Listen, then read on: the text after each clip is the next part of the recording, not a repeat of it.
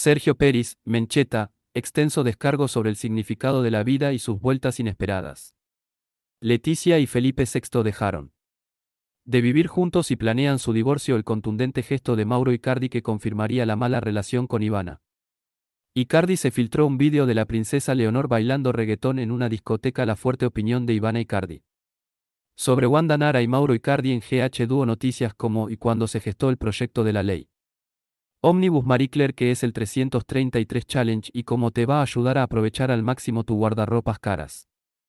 Fanática de la moda y excelente bailarina, como está hoy Nina, la hija de Diego Torres y Débora Bello Parabrisas. Por el impuesto al lujo hay versiones al mismo precio y planes paralizados. Compartí esta nota Sergio Peris, Mencheta, el reconocido actor español y director de cine. Anunció mediante sus redes sociales que padece de cáncer y que está a la espera de una trasplante de médula.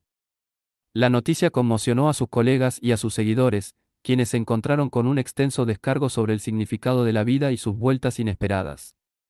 Sergio es un reconocido actor europeo con una larga trayectoria en el mundo artístico. No suele ser muy activo en sus redes sociales. Pero tiene una gran comunidad de seguidores que lo siguen para admirar sus fotografías, que suelen mostrar una perspectiva diferente de las cosas. Y leer lo que tiene para decir. Sin embargo, este lunes por la mañana se encontraron con la noticia de que el actor padece de una enfermedad termina y está a la espera de un trasplante de médula. Siempre me han tocado las cosas buenas de la vida. Y siempre me he sentido un poco culpable por ello, la verdad, se lee en la primera parte del largo. Texto en donde señala varios aspectos de su vida que fueron públicos para quienes admiran su trabajo. Poco a poco comienza a detallar que, a diferencia de la fortuna que tuvo en su vida profesional, su vida personal se vio golpeada por el cáncer. Todo esto para decir que en este último sorteo no me han salido los números de siempre.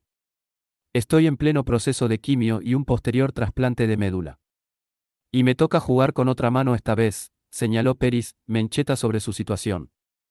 Estoy como solo saben los que han vivido una situación similar a la mía.